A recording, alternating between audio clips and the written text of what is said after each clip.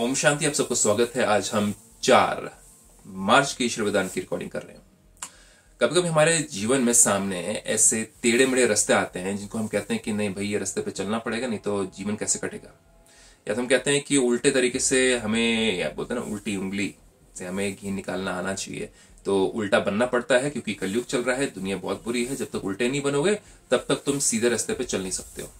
तो ये भी एक उल्टी सोच होगी। इसको कहेंगे, परमात्मा कहते हैं कि क्रिकेट सोच। और इस सोच से हम कभी ना कभी, या और ज़्यादातर दिखा जाता है, हमेशा हम गड्ढों में गिरते आते हैं। तो परमात्मा चाहते हैं कि हम कुछ ना कुछ शक्तियों से, जिसको हम विजडम कहते हैं, उस ज्ञान से, उस विजडम से हम जो टेढ़े मेढ़े रास्ते उनको हम सीधा कर लें, ताकि हमारा जीवन सीधा हो जाए और हमें बहुत परेशानियाँ ना झेलनी पड़े। तो देखें, परमात्मा के अपने ही शब्दों में कहना क्या चाहते हैं? सदा भरपूरता की अनुभूति द्वारा, सदा भरपूरता की अनुभूति द्वारा टेढ़े रस्ते को सीधा बनाने वाले, टेढ़े रस्ते को सीधा बनाने वाले शक्ति अवतार भवा। सदा शक्ति के, गुणों के, शक्ति के, गुणों के, शक्ति कौन सी होगी? सहन करने की शक्ति, सामना करने की शक्ति, निर्णय लेने की शक्ति, परखने की शक्ति होगी आपकी, सहयोग करने की शक्ति होगी आपकी, साथ ही साथ सब चीज़ों को समाने की शक्ति होगी। ये सारी शक्तियाँ हैं। तो परमात्मा कहते हैं सदा शक्ति गुणों के, ज्ञान के, खुशी के खजाने से भरपूर रहो तो आत्मिक ज्ञान कि मुझे ये सारी दुनिया की सिचुएशंस को, सारी आत्माओं को मुझको आत्मिक तरीके से देखना है, उनके भौतिक तरीके से नहीं देखना है। क्योंकि हम भौतिक तरीके से इन पाँच कर्मेंद्र से चीज़ों के हम आंसर्स ढूंढते हैं और हम फंस जाते हैं, मेरे तेरे में।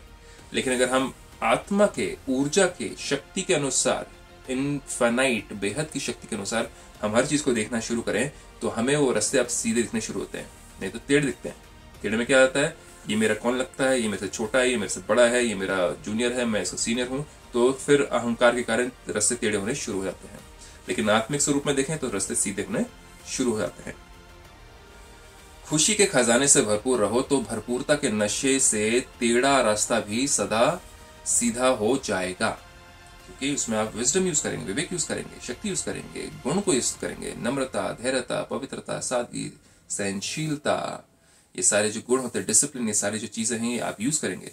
अगर खाली होंगे, अगर मन बुद्धि ये ज्ञान से भरी नहीं है, खाली होंगे तो खड्डा बन जाएगा और खड्डे में गिरने से मोच आएगी। लेकिन कौन सी मोच है? शरीर वाली मोच नहीं है जो कमज़ोर और खाली होते हैं, उन्हें संकल्पों की मोच आती है। क्या करूँ, कैसे करूँ, कैसे होगा, कौन करेगा, क्यों नहीं करता, ऐसे क्यों नहीं करते, वो ऐसे क्यों नहीं करते ऐसे करना चाहिए था ना, ऐसे नहीं करना चाहिए था। ये सब क्या है? संकल्पों की मोचे और टेढ़े मेढ़े रस्ते। और संकल्प आपके जब टेढ़े मेढ़े होते हैं तो मन में कभी शांति हो नहीं सकती है। फिर परमान तो कहते हैं, शक्ति अवतार अर्थात टेढ़े को सीधा करने का कॉन्ट्रैक्ट लेने वाले। टेढ़े क्या करेंगे? सीधा करेंगे। वैसे भी दिखाया था, कोई अगर आप कॉन्ट्रैक्ट लेता है आपके जीवन में, कोई कार्य करने का, आपका घर बनाने का, अगर वो टेढ़ा रास्ते से चले तो सारी बिल्डिंग टेढ़ी बन जाए। लेकिन अगर वो सीधे रास्ते से चले तो सब कुछ ही आपका सीधा होना शुरू हो जाए। फिर परमात्मा कहते हैं, ऐसा कॉन्ट्रैक्ट लेने वाले कभी ये नहीं कह सकते कि ये रास्ता टेढ़ा है। क्या नहीं कह सकते कि मेरा ये रास्ता टेढ़ा है, मुझे टेढ़े रास्ते पे टेढ़ा ही चलना पड़ेगा। नहीं कह सकते। अगर कोई गिरते हैं तो अटेंशन की कमी है या बुद्धि भरपूर नहीं है अटेंशन की कमी है, आप परख नहीं पाए सिचुएशन को।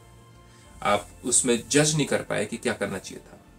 या आप निर्णय नहीं ले पाए। आपको लगा, नहीं, ये टेढ़ा रास्ता, टेढ़ा ही चलते हैं इसमें। तो परमात्मा कहते हैं, उससे बोझ पड़ता है आपके ऊपर और आप फिर खड्डे में गिरते हो। अपने ही बनाए हुए कर्मों के, पापों के खड्डे में गिरते हो, क्योंकि आप शॉर्टकट लेने की कोशिश करते हो। तो अगर आप अपने घर को भी अगर शॉर्टकट से बनाएँगे तो कैसा बनेगा आपका घर सोचिए जरा। उसी तरीके से अपने जीवन रूपी घर को भी अगर आप बनाते हैं कर्मों के तो वो कैसा बनना चाहिए? एक एक ईट बिल्कुल आपकी सख्त होनी चाहिए, पक्की होनी चाहिए। ये सारी चीज़ें आपको सिखाई जाती हैं ब्रह्म कुमारी। इसमें आप भी आकर के इस अमूल्य विद्या को आके ले सकते हैं। ओम शांति इसके साथ।